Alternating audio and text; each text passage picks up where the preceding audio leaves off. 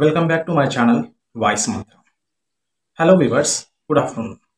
In this video, we are going to discuss essential floral parts of flower belongs to Liliaceae family. Essential floral parts include androecium and gynoecium. Androecium. Androecium is male reproductive part of flower. It is made up of, if you see Liliaceae family members of stamens being arranged in two whorls, 3 plus 3 free or united Total 6 stamens are present. Anther. Anther is terminal part of stamen. It is dithecous, basifixed, introrse and longitudinal dehiscence. Gynoecium. Gynoecium is reproductive part of female flower. Gynoecium is female reproductive flower and made up of one or more carpels. Ovary. Ovary is part of pistil that contains ovule and produce seeds.